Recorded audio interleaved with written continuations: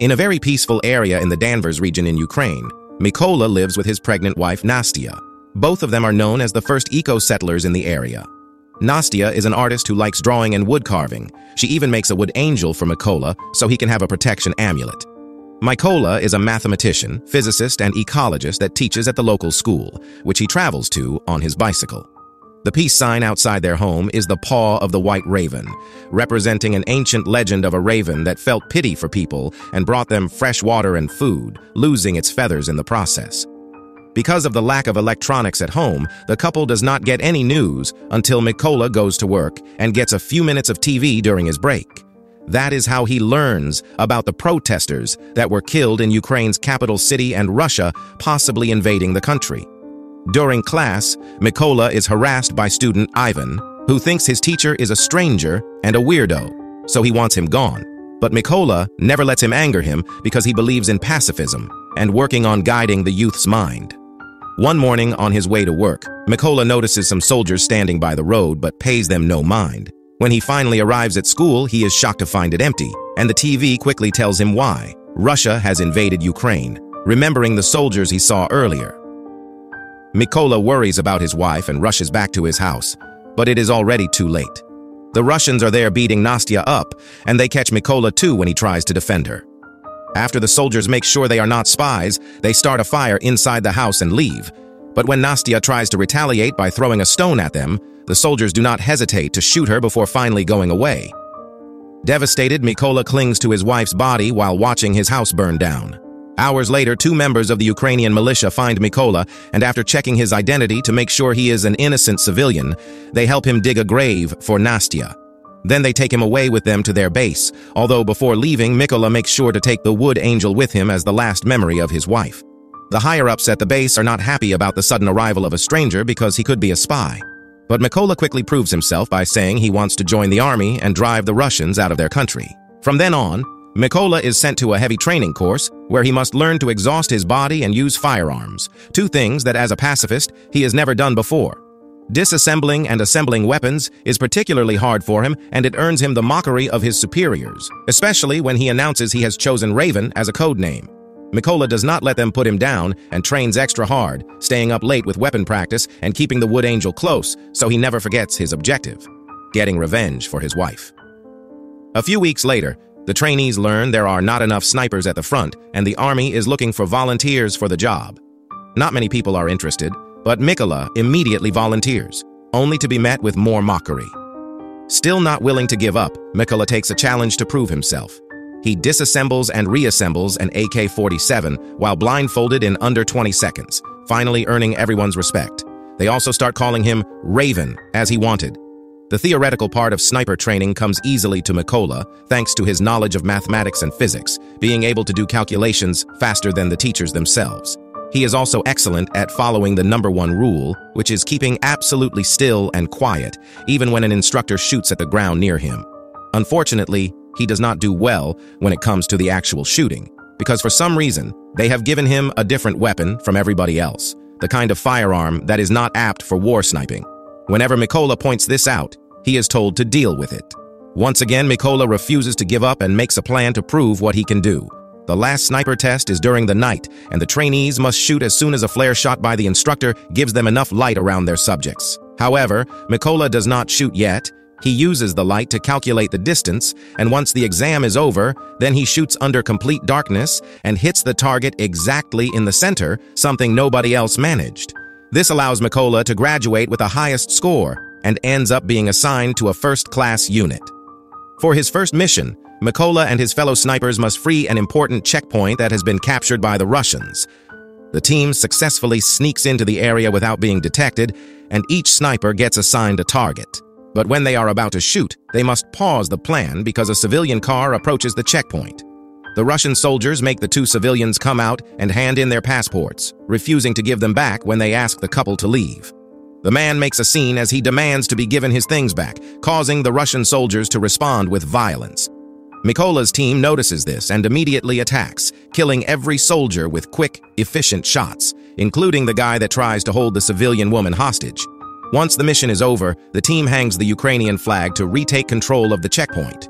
When they return to base, Mikola hears his fellow newbies have left on a different mission, so he uses this moment of downtime to visit the school he used to work at, finding himself deeply moved by the desolate sight of the dusty classrooms.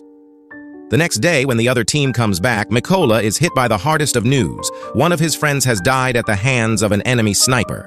This adds to the list of reasons why Mikola wants to get revenge. For the next mission, Mikola's team hides a bunch of explosives on trees behind leaves before they hide in the grass while waiting for their enemy to show up. When the Russian soldiers appear in the forest as reports had anticipated, Mikola hesitates to shoot because he sees something he cannot believe. Ivan has joined the Russian army and is coming this way with the rest of their enemies. He snaps out of it when the captain orders him to shoot, and Mikola hits the detonator, killing every Russian soldier, including Ivan.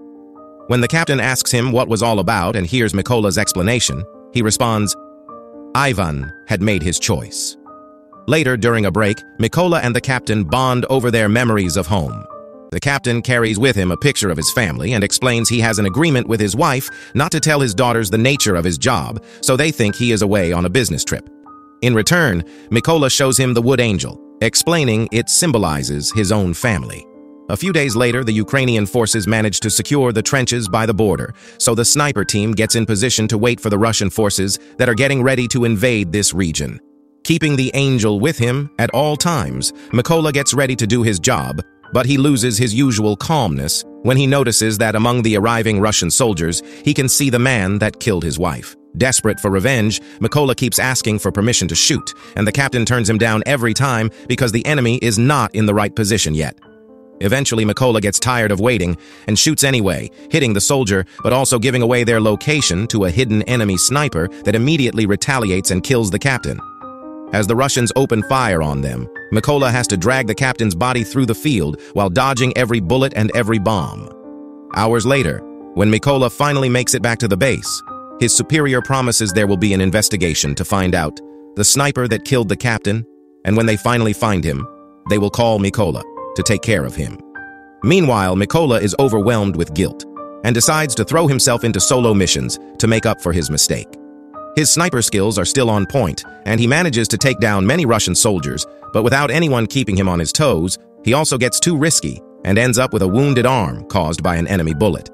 Mikola goes to a secret hideout to take time to recover and watch the news to get an update on the political status of the negotiations with Russia. But his break is interrupted by an important call.